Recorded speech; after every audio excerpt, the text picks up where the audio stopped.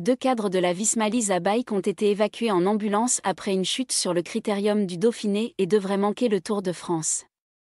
La chute a d'ores et déjà fait des dégâts. Ce jeudi, la cinquième étape du critérium du Dauphiné a dû être neutralisée après une terrible chute générale dans le peloton, impliquant de nombreux coureurs. Deux d'entre eux ont même dû être évacués en ambulance.